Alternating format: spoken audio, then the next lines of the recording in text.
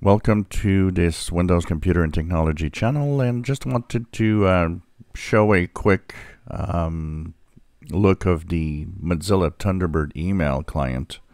I haven't talked about this in a long, long time, but it's one of those email clients you can download for free from the Mozilla Thunderbird webpage.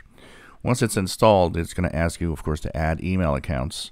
And it's pretty straightforward, whatever it's a Gmail, a Yahoo, a Hotmail, a um, uh, Outlook, a, a, any type of email, Yahoo, like I said, also or your local email provider.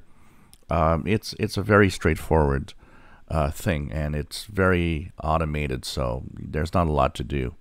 And once it's done, well, you'll get an email client that looks like this. This looks uh, strangely a lot like uh, Outlook Express in some ways. If you missed the, the days of that um, you know, email client that that is more of a you know top. You get the emails that you receive. Bottom, you get the um, the message itself and so on. Uh, this might be um, one for you, and this is of course open source, and uh, it's still downloading images because of all sorts of things that I kept, which maybe I should remove.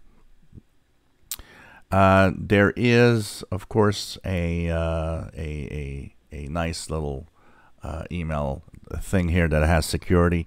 At the bottom, it doesn't open images. It doesn't automatically open everything, like in the the, the days of Outlook Express to kind of keep you safe.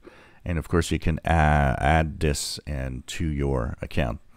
It uh, in in cases of you're using a Gmail or a Yahoo, you'll be using IMAP, which will kind of synchronize the emails, and it's it's pretty good actually. I've um, looking at it, I'm, I'm, you know, if I would use an email provider or client, I think this would be the one that I would probably use, and you can add all of the different accounts that you want there.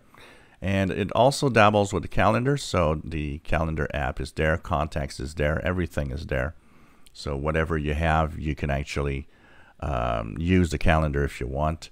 So all you have to do is uh, make sure that it's enabled and that you uh, can use the different options. There's contact list and so on.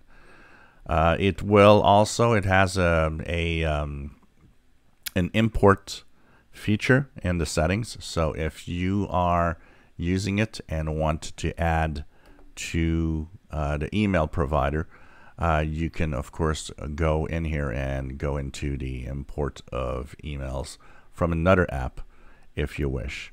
So this is Thunderbird's own email client. Maybe uh, you uh, could like it or not. So depending on what you're using, uh, it's another solution for um, emails. That's for sure. If you enjoy my videos, please subscribe, give us a thumbs up. Thank you for watching.